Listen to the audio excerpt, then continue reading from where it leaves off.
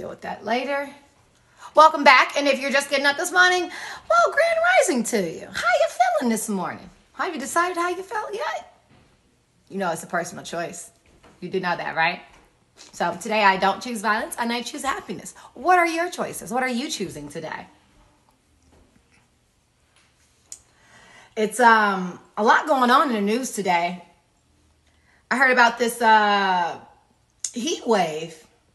About 35 million people from the Northwest down to the Louisiana Gulf Coast are under excessive heat warning and watches. So if you're anywhere in between that, dress for the hot weather. Get ready. Make sure you hydrate. Get your water bottles. Get what you need to stay healthy in this extreme heat because it is real out there. Get your dogs from outside. Bring them inside the house. Turn that air conditioner on. Turn your fans on. Keep it cool. All right, Philly Rich 215 underscore GVO. Rich Rise it. Hey. So, have you guys heard about? Uh, I know you've been hearing about this Delta variant. No, it's not an airlines we're talking about, but it's this new strand of uh, COVID 19. And the variant continues to spread, the case numbers rise. And more employers are now requiring their workers to get vaccinated. So, I'm not sure if you guys heard about that. But New York City will require workers to be vaccinated by mid September or they will have to face weekly testing. California also um, is in that mix. California and the Department of Veteran Affairs also issued mandates requiring vaccines.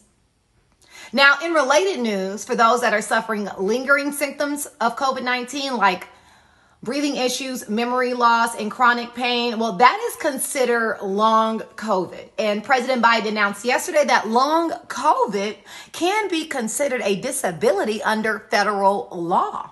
Hmm. Biden also announced yesterday that U.S. combat mission in Iraq will officially come to a close by the end of the year, but troops will troops will remain supportive.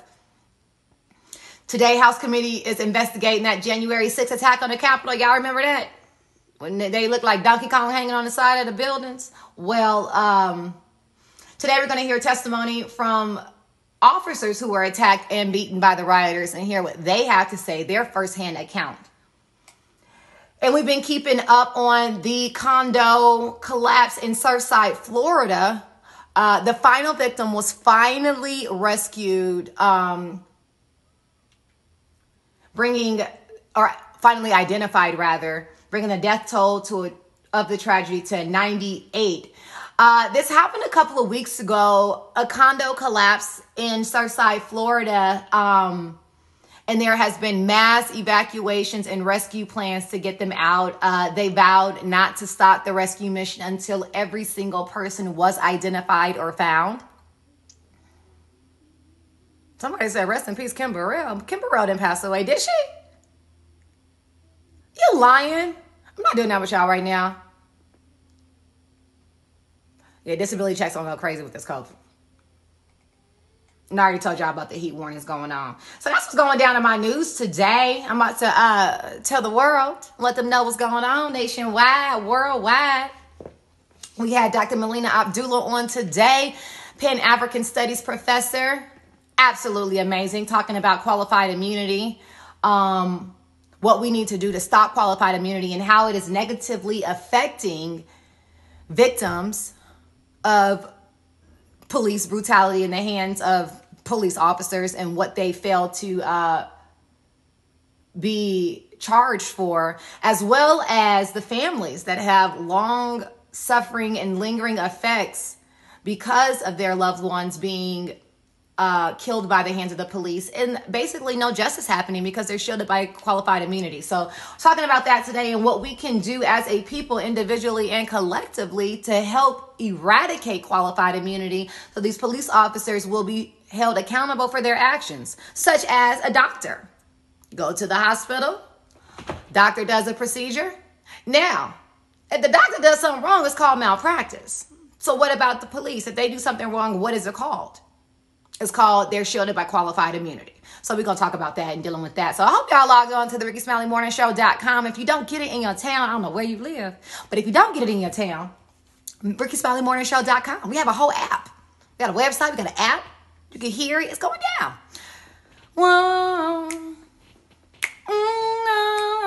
Don't judge me, y'all. Y'all know I'm gonna sing at some point. You already know that. Rich Bright and Ty Hello. Y'all know I'm gonna try to sing. Something gonna happen.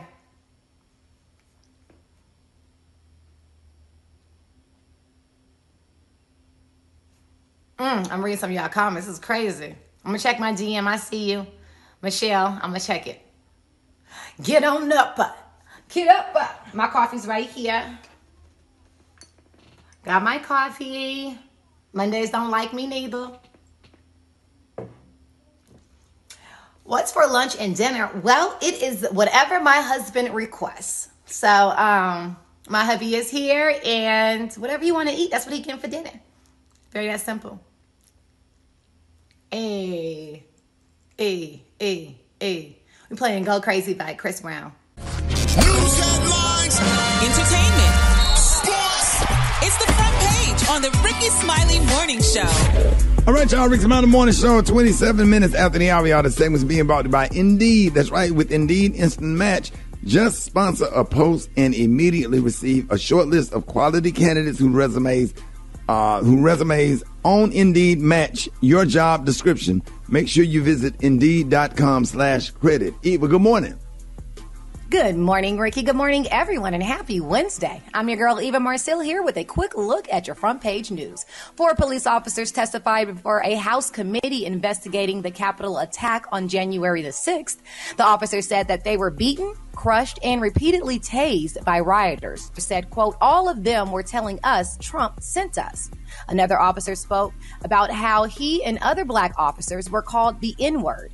A DC Metro police officer said had this to say to lawmakers, i.e., Republicans, who he feels have turned against them.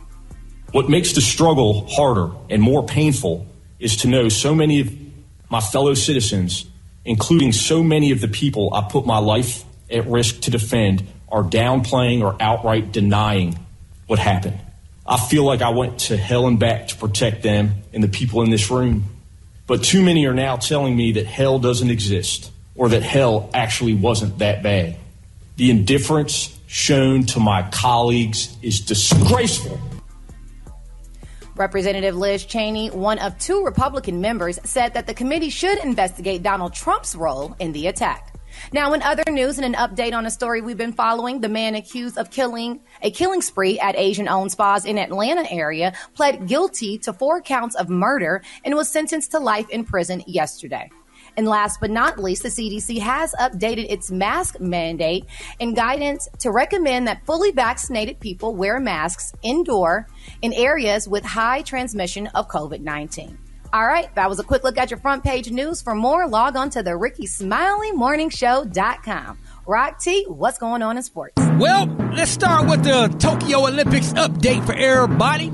Medal leaders. USA is leading the pack with 30 total medals so far. China is 24 and Japan has a of 20. USA men's basketball's team, they bounce back with a blowout victory over Iran. Swimmer Katie Ledecky wins the gold in the 1500 meter freestyle. And yes, update with our sister Simone Biles. She withdraws from the individual all around finals, which would have took place on tomorrow. She will not compete in order to focus on her mental health, man. And hundreds of her fellow pro athletes from all sports has expressed their support. And of course, on behalf of the Rickey Smiley Morning Show, we support Simone as well, man. So keep doing what you're doing.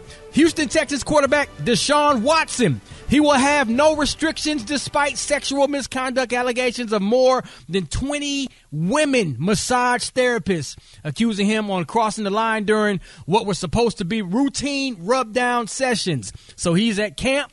He's with the Texans, and uh, as of right now, NFL is has no restrictions on him. So we'll see what happens. Last but not least, the feud between NFL star quarterback Aaron Rodgers and the Green Bay Packers is obviously over.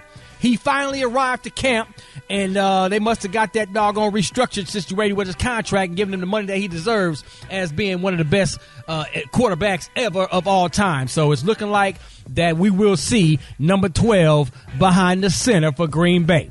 That's what I got for sports right now. Follow my social media platforms at Rock T Holla. Let's talk it out. It is what it is. The Brat got the hot.